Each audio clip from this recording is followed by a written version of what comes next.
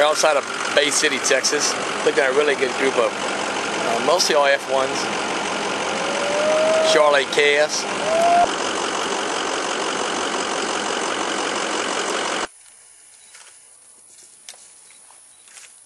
Are in good flesh considering a drought.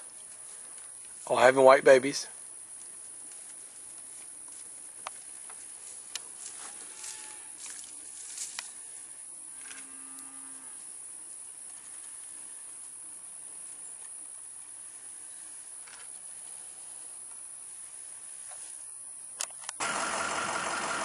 How many of these older cows are there? There's uh, Are these horn cows? one, two, maximum ten. Okay.